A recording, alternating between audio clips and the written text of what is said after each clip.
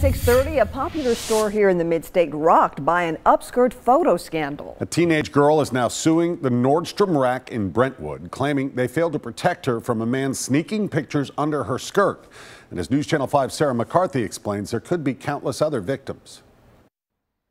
We don't know the name of the woman suing this store, but we know she was just 19 years old when a man followed her inside with his cell phone and took pictures of her up her skirt.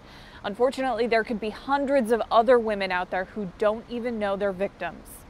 We believe, due to the volume of pictures, that he was doing this in other locations in the community. On August 6, 2016, attorney Jason Lee's client knew something was wrong. Plaintiff Jane Doe noticed an individual who appeared to be following her closely. Houman Shirinouei was following her too closely for comfort.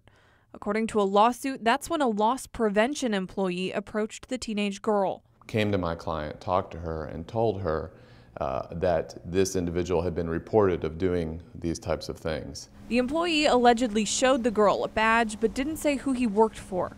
Then he told her to wait. And then he left her for 10 to 15 minutes.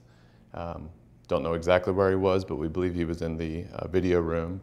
And as we allege in the complaint, during that time, Mr. Shirinouei approached her again and took additional pictures of her dress. That's when the girl called police. Lee says that's where Nordstrom failed his client. They should have removed him immediately from the building.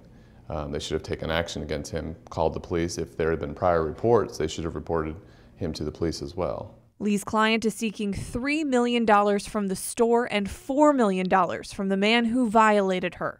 He is set to appear in court in September. Reporting in Brentwood, Sarah McCarthy, News Channel 5.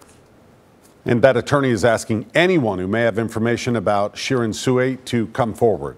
They believe he has taken pictures like this before, and some victims could be minors.